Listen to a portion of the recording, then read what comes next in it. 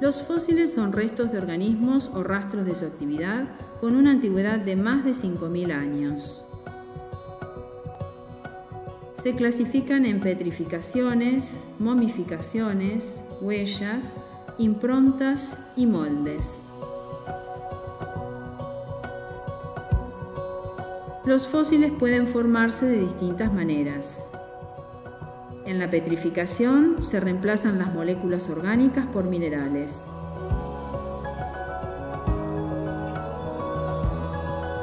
Los fósiles petrificados conservan la forma, pero lo que cambia es su peso, color y textura.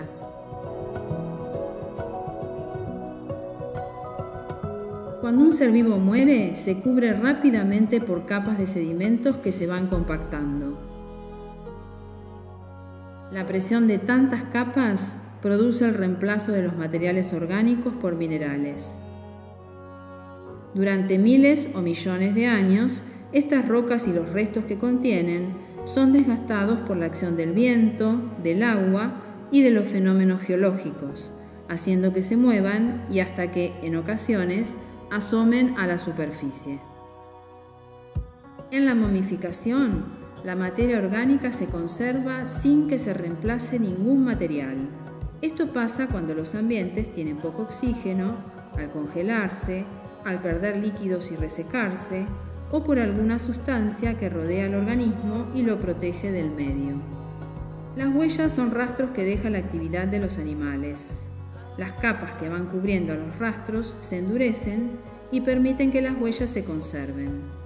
Las improntas preservan partes de insectos, hojas, frondes y flores. Se forman por la descomposición de organismos que dejan su marca sobre el sedimento que luego se endurece. Los moldes son una impresión de los organismos que se forman cuando los restos orgánicos se descomponen después de haber sido cubiertos por el sedimento. El estudio de los fósiles es muy importante porque permite conocer las condiciones ambientales en que se formaron, la edad de los sedimentos, los cambios que se produjeron en el planeta, comprender la evolución de los grupos de organismos y de los ecosistemas del pasado e interpretar los actuales. Los y las paleontólogas son quienes estudian los fósiles y sus procesos. En el Museo de la Plata se custodia este valioso patrimonio que permite conocer la historia de nuestra región.